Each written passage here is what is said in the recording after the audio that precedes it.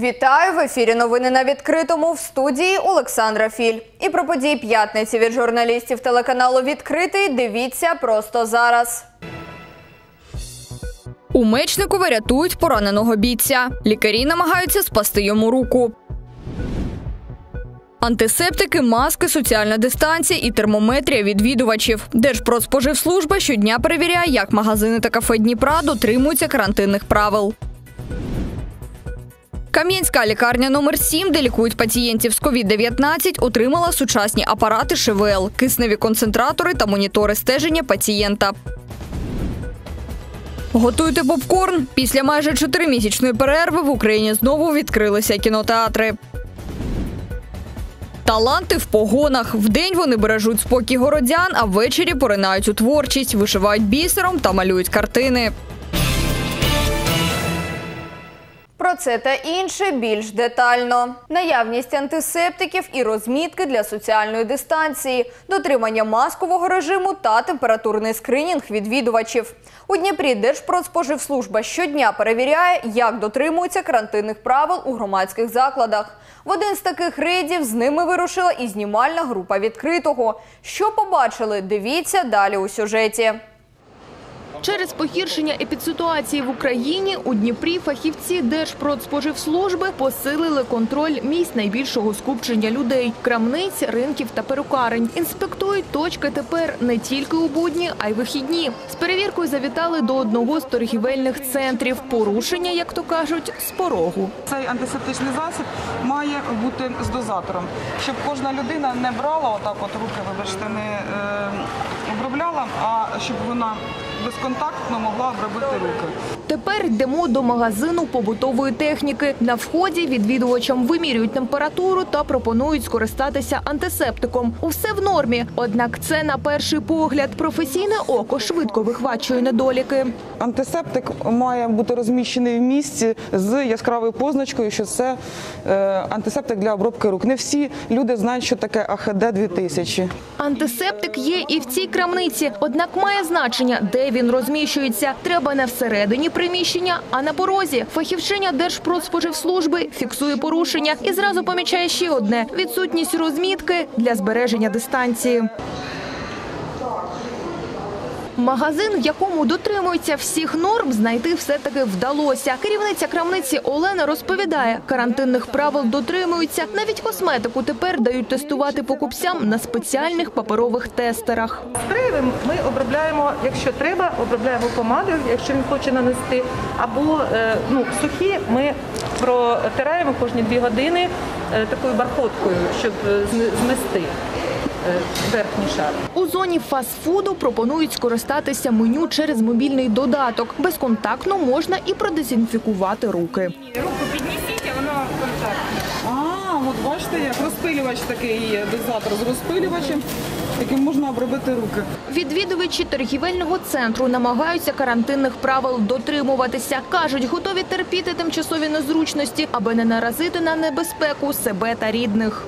Дистанция абсолютно соблюдается, дезинфекционные средства абсолютно присутствуют. Ну и, как сказать, м, очень нравится сервис. А температуру вам меряли сьогодні? Да, мерили. антисептики есть. Даже где-то, по-моему, температуру мерили. Все это есть. Все это присутствует. И смотрите, у них и перчатки есть, и маски есть, и антисептики есть, все есть. Я считаю, они на уровне. Інспекція торгових точок тривала майже три години. Підбиваємо підсумки. Місць, де не нехтують рекомендаціями головного санітарного лікаря країни, все ж більше. Майже на 90% всі забезпечені і антисептиками, і засобами індивідуального захисту. Е, Персонал володіє знаннями про те, що е, як повинно це все е, працювати, як вони повинні використовувати засоби індивідуального захисту. Але прикро те, що спрацьовує людський фактор. Е, Не всі е, працівники закладів торгівлі е, розуміють про те, що вони повинні обов'язково одягати маску або респіратор. За неносіння масок окремий штраф. Це нова ініціатива Кабміну. І ВМОЗ сподівається на підтримку законопроєкту в Раді. Для фізичних осіб штрафи невеликі, а для юридичних можуть перевищувати 5 тисяч гривень. До таких дій влада вдається заради збереження здоров'я громадян. Лідія Дмитрашко, Константин Кесер, Open News, телеканал відкритий. У Кам'янському міська лікарня номер 7, де лікують пацієнтів з COVID-19, вкотре отримала сучасне обладнання. Це апарати ШВЛ, кисневі концентратори та монітори пацієнта. Частина техніки придбана коштом обласного бюджету, інша – допомога меценатів. Обладнання, кажуть лікарі, новітнє та функціональне. Деталі в наступному сюжеті. Лікар-анестезіолог Андрій Гончаренко роздивляється сучасне обладнання. Констатує, воно значно краще, ніж те, яке було раніше. Апарати ШВЛ, кисневі концентратори необхідні для лікування хворих з ковід, устаткування для реанімаційного та інфекційного відділень сьомої лікарні Кам'янського. Зараз у цьому медзакладі лікують чотирьох хворих на коронавірус. І тепер, щоб надавати таким пацієнтам якісну допомогу, кажуть фахівці, у закладі є все необхідне. То, что мы сегодня получили, это уже совершенно другие возможности, совершенно другие Окрім того, лікарня отримала монітори пацієнта з капнографами. Вони допомагають вимірювати кількість вуглецю в повітрі. Таке обладнання необхідне для реанімації. Основна частина обладнання куплена за счет обласного бюджету. Це три новых ИВЛ аппарата, три кислородных концентратора, четыре дозатора. Лікарні оснащують сучасною технікою не лише коштом міського та обласного бюджетів, допомагають меценати та благодійники. Завдяки такій співпраці кажуть, медзаклади отримують нове обладнання. В сьомій міській лікарні є все для надання якісної своєчасної медичної допомоги хворим на ковід. Є засоби індивідуального захисту, е, є лікарські засоби, є все для того, щоб надавати своєчасну медичну допомогу хворим на ковід. Загалом з початку пандемії у Кам'янському зафіксовано 46 випадків зараження на COVID-19. Зараз хворіють п'ятеро, четверо отримують допомогу у лікарні номер 7. Одна пацієнтка на амбулаторному лікуванні. Утім, оновлювати обладнання у Кам'янському продовжуватимуть, запевняють керманичі міста, аби в разі посилення пандемії бути готовими до викликів.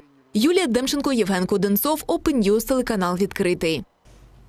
Готуйте попкорн. Після майже чотиримісячної перерви в Україні знову відкрилися кінотеатри. Перегляд фільмів тепер можливий, але за новими правилами. У масках і в наполовину заповненій глядацькій залі. Як кінотеатри Дніпра повертаються до звичного графіку, дізнавалася наша Лідія Дмитрашко. Дмитро серед перших відвідувачів кінотеатру. Він кіноман. Однак дивитися фільми вдома в карантин набридло. Тож відкриттю кінотеатрів зрадів. Завітав на кінострічку зі своєю дівчиною. Последний раз я был как раз буквально перед закрытием. Я ездил на мультфильм, заехал и на следующий день буквально закрылись киношки. И вот сегодня вырвался, соскучился за фильмами.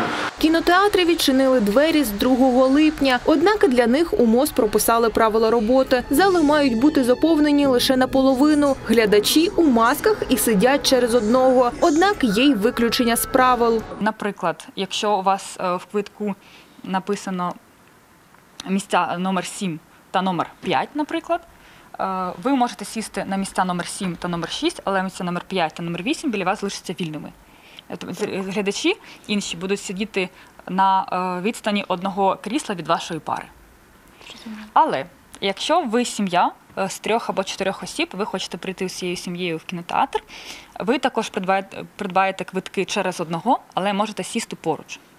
В один ряд обирайте, будь ласка, квитки на ряди номер 1, 2, 3 або 4. Карантинних правил мають дотримуватися і співробітники кінотеатру. Перед кожним сеансом і після нього дезінфекція поверхонь, вологе прибирання, а разом з попкорном видають і вологі серветки. Оброблюємо руку кожної години, ми в перчатках знаходимося. Якщо набираємо попкорн, е, ми спочатку розраховуємо клієнта, віддаємо гроші і потім надягаємо перчатку, окремо одноразові, одноразові перчатки, і потім беремо стакан, набираємо попкорн і віддаємо клієнту. Наразі відвідувачів не густо. Однак у кінотеатрах кажуть, готові крутити фільми навіть для одного глядача. Квитки можна придбати як у касі, так і онлайн. Аби здешевити квиток, можна скористатися спеціальним сертифікатом. Також запустили сертифікати у березні місяці. Ми їх е, продавали протягом цього карантину і завершили продаж за тиждень до відкриття. Ці сертифікати ми радимо зараз е, притримати, тому що ціна на квиток у перший тиждень е, значно менша, ніж до карантинний період. У післякарантинний період квитки на більшість сеансів коштують 60 гривень. Це майже вдвічі дешевше, ніж зазвичай, наголошують у кінотеатрі. Така приваблива ціна навіть на комфортні віп-сидіння. Поки що у перший тиждень після відкриття у прокаті вже знайомі телекартини. В данный момент э, фильмы старые, с 2000 до 2010 года. К примеру, это «Темный рыцарь», «Бэтмен», э, «Стражи Галактики», а также «Пираты Карибского моря». Наиболее посещаемым это «Бэтмен». Аби догодити кіноманам, на сайті навіть створили опитування, де кожен зміг запропонувати фільми для перегляду. Лідія Дмитрашко, Василь Самовар, Open News, телеканал відкритий. Зупинки Дніпра потерпають від вандалів. Найчастіше, кажуть в департаменті транспорту міськради, недобросовісні містяни розмальовують або б'ють скло, крадуть світильники. Комунальники намагаються швидко все виправляти. Однак, щоб привести зупинку до ладу, все частіше доводиться витрачати чимало коштів. Натомість їх можна було б спрямувати на нові комплекси. Зараз у Дніпрі 120 сучасних зупинок, з них 58 зведені коштом інвесторів. Один з таких комплексів зараз закінчують облаштовувати на житловому масиві Тополя на вулиці Панікахи 15. Будівництво тут майже завершено. Залишилось тільки впорядкувати прилеглу територію. Інвестор тут абсолютно все прорахував. Е, Плитку зрозуміло підняв. ем, е, Підняв бордюри до 20 см від проїжджої частини. Вирівняв абсолютно всю територію, забезпечив легкодоступність е, людей з інвалідністю до зупинки. Ми бачимо переходи, пандуси з е, прохідної частини та безпосередньо до зупинки. Забезпечив, е, посадив. Ось ми бачимо дерева. Поки одні зупинки будують, інші паплюжать. Крім того, мешканці не гребують вандалізмом у громадському транспорті, розбивають вікна, псують сидіння та розмальовують стіни. В яку копійчину влітає відновлення майна та як борються з транспортними вандалами, сьогодні у студії відкритого розкаже завідуючий сектором контролю і моніторингу департаменту транспорту і транспортної інфраструктури Дніпровської міськради Іван Васючков. Вітаємо вас, Іване. Розкажіть, будь ласка, скільки випадків транспортного вандалізму зафіксовано вже цьогоріч у Дніпрі? За останні півроку вже зафіксовано близько 300 випадків вандалізму. Це найпоширеніше це малювання на стінах зупинок або у салонах транспортних засобів. Е, Ще близько 80 випадків вандалізму було зафіксовано на приватних автоперевізниках. А як таке зумисне пошкодження транспорту позначається на його роботі? На жаль, якщо це суттєве е, пошкодження транспортного засобу, наприклад, вибите скло лобове або бокове, або пошкодження дверця, то це суттєво впливає на рух транспортного засобу. Його доводиться знімати з маршруту, тобто він відправляється до депо або до автопідприємства для поновлення.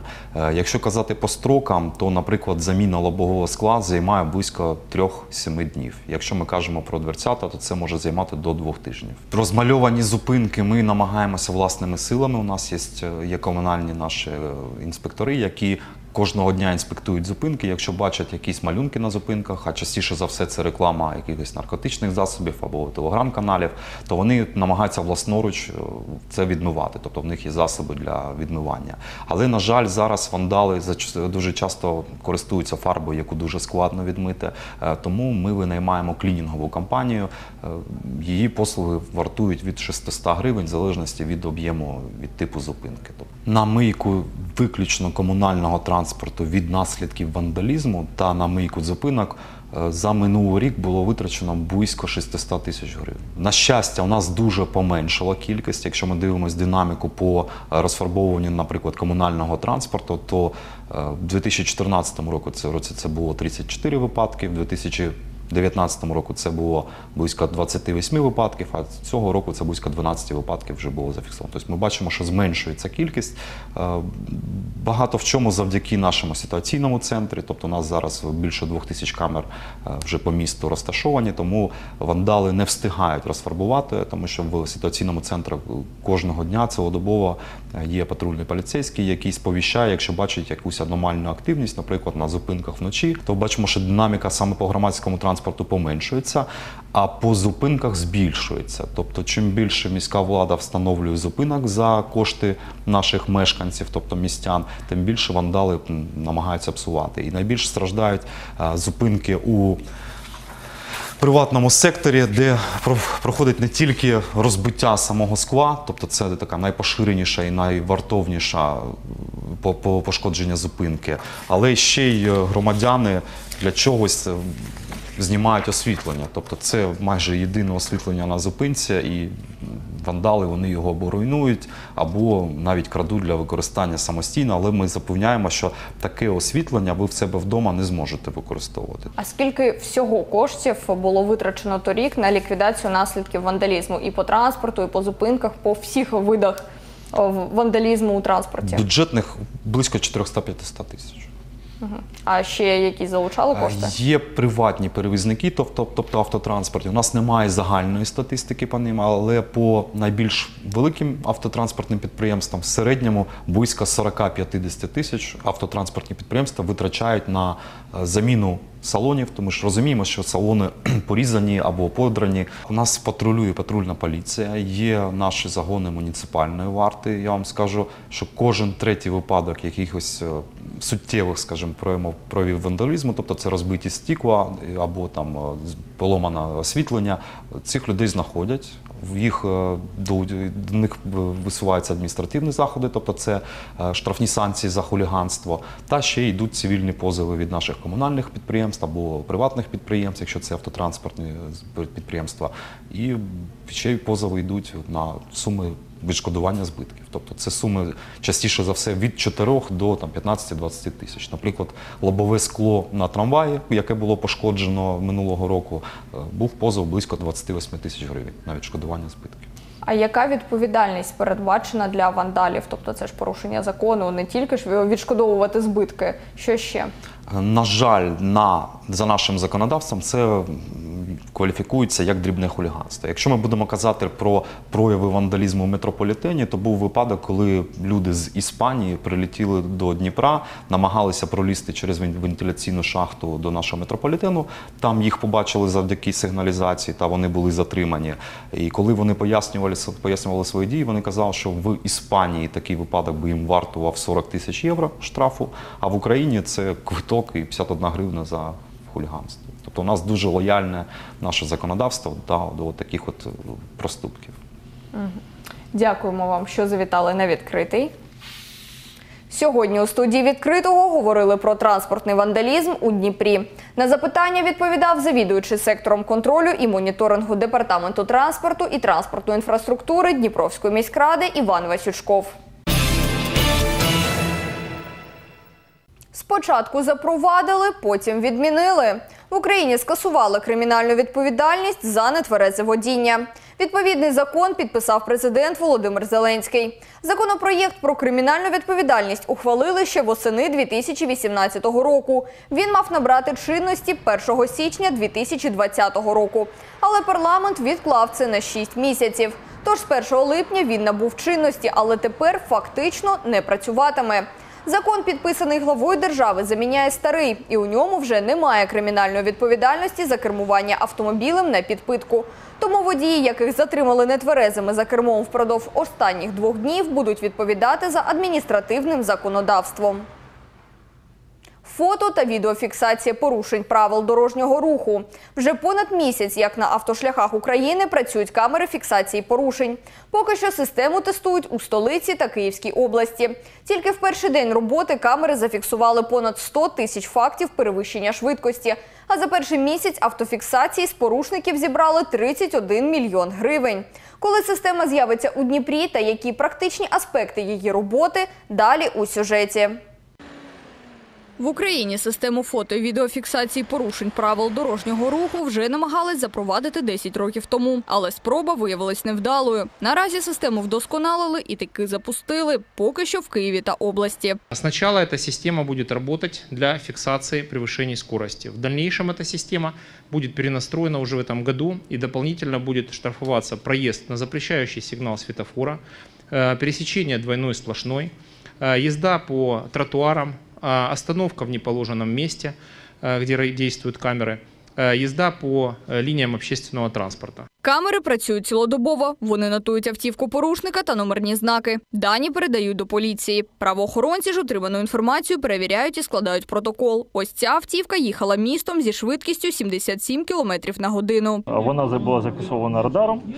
Також е, є дублюючі канали фіксації швидкості.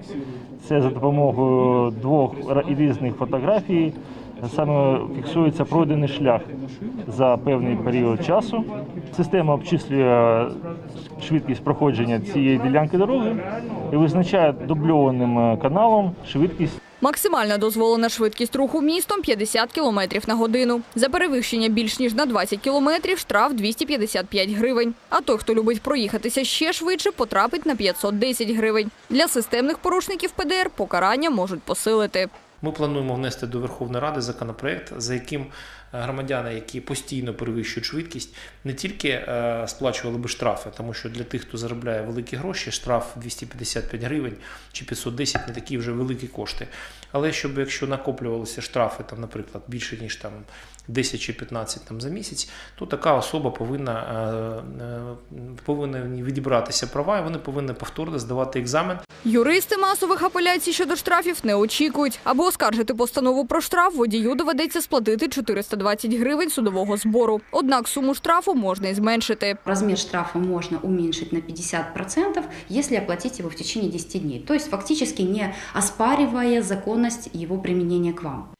Про штраф за порушення дорожніх правил можна дізнатись кількома способами: від листоноші, який доставить протокол за місцем реєстрації водія, через електронну пошту, якщо ви подаєте відповідну заяву, та на сайті МВС. Якщо ж лист щастя проігноруєте, то В этом случае, скорее всего, будет передано постановление в орган исполнительной службы, который, в свою очередь, откроет исполнительное производство, начнет принудительное взыскание, э, наложит арест, ну, запреты наложит на э, ваше имущество, на ваши счета, э, что, в принципе, может э, стать довольно большой неприятностью и неожиданностью, когда вы захотите, за- э, захотите заключить какую-то крупную сделку и- или же снять деньги со счета.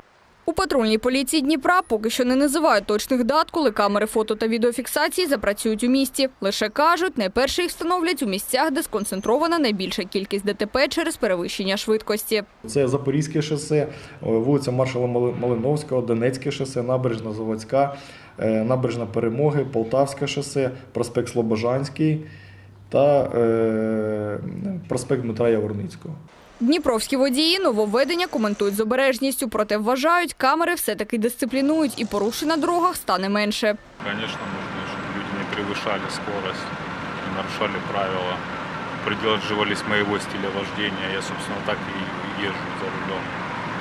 Стараюсь не нарушать. А я не нарушаю, я как бы, да, не переживаю насчет этого. Ну, немножко больше стал соблюдать правила. Я не знаю, как был, так и будет такой же стиль. З початку року у Дніпропетровській області вже зафіксовано більш ніж 3 тисячі ДТП. Загинули 64 людини. Це на 14 більше, ніж за весь 2019 рік. Завдання камер – знизити кількість дорожньо-транспортних пригод. Адже 40% аварій, в яких гинуть та травмуються люди, трапляються саме через перевищення швидкості. Олександра Філь, Євген Коденцов, Олександр Вернигоров, Андрій Лата, Open News, телеканал «Відкритий». У Мечникова знов рятують пораненого бійця з зони операції Об'єднаних сил.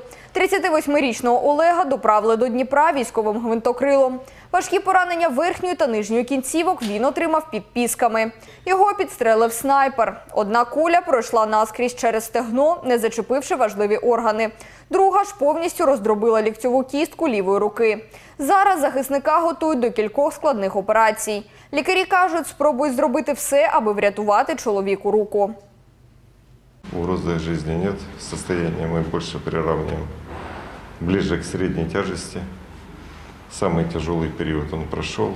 Переживали, что кровопотеря даст большие осложнения.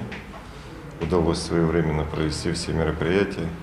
Он в глубоком наркозе был доставлен в больницу Мечникова. Прямо отсюда, перевязочная. И сразу же в реанимационное отделение. Получает лекарства необходимые и активно готовится к операции. Свіже повітря, попутний вітер та пісні. Учасники регати Козацький шлях, які вийшли із Дніпра 28 червня, вже подолали понад 300 кілометрів. Мальовничими водними шляхами учасники дісталися Херсона. Там було шикування, підведення підсумків чотирьох етапів змагань, нагородження переможців та концерт пісень, народжених в АТО. Після ночівлі яхти вирушать до Очакова. Останній якір у цій подорожі кинуть в Одесі. Туди мандрівники мають прибути 6 липня. Деякі учасники вже брали участь в регаті, а хтось вирушив у мандри під вітрилами вперше. Та цілі у всіх однакові спілкуватися та змагатися. Сприяє подорожі й погода, кажуть яхтсмени. Феєрично просто, ну що я можу сказати, це бомбезно. Під парусом іти, ну, особливо коли є е, вітер, ну це просто ну непередаваємо почуття таке, що ну ти як летиш на цій яхті, розумієте? Як на крилах, грубо говоря. Таланти в погонах. Щодня вони бережуть спокій та порядок у суспільстві. А повертаючись додому, поринають у світ творчості, малюють портрети та створюють ікони з бісеру. 4 липня в Україні відзначають День Нацполіції. До професійного свята поліціянтів ми зібрали кілька історій талановитих правоохоронців. Поділиться ними наша Дар'я Пшенична. Поліцейський із творчою натурою. Олексій Шаров – патрульний Дніпра, який знайшов себе у малюванні. Він почав малювати ще на першому курсі університету. Каже, він жодного дня не ходив до художньої школи. Просто одного дня взяв олівець і почав творити. Досвіду та навичок не було, тож вчився на власних помилках. Я начал, наверное, понимать, ну, я начал вникать в это все, разбираться, что к чему, почему здесь именно темно, ну, к примеру, тем- темнее или светлее, вот так вот, и понимать картинку в объеме, то есть. И уже как-то сейчас у меня такое вот впечатление вкладывается, когда, например, я хочу что нарисовать, ну, воображение, я уже вижу конечный результат, как оно все это в мелких деталях, и пытаюсь воплотить это просто. Він малює олівцями, пензликами, фломастерами і всім, що потрапить під руку. В колекції Олексія кілька десятків пейзажів і настінних картин. Але найбільше, говорить художник поліцейський, він полюбляє малювати портрети. Я сначала рисую очертаниями, легкими линиями там карандаша, это вообще в общем контур и основные элементы. Там. Начинаю, начинаю как бы э, всегда с глаз, после нос и рот, губы такой вот. Ну и вообще в общем э, пропорции лица, смотрю, чтобы они были как бы более-менее похожи. Далее я делаю фон общий. Цікавість людей до його творчості та захоплюючі відгуки надихають Олексія малювати далі. Неодноразово з-під його пензля виходили і портрети відомих українців та закордонних особистостей. А хобі, говорить патрульний, заспокоює його після важкої поліцейської зміни. Наверное, это больше помогает отвлечься как-то и провести свободное время. Какой-то особой такой цели, чтобы доказать кому-то что-то или показать.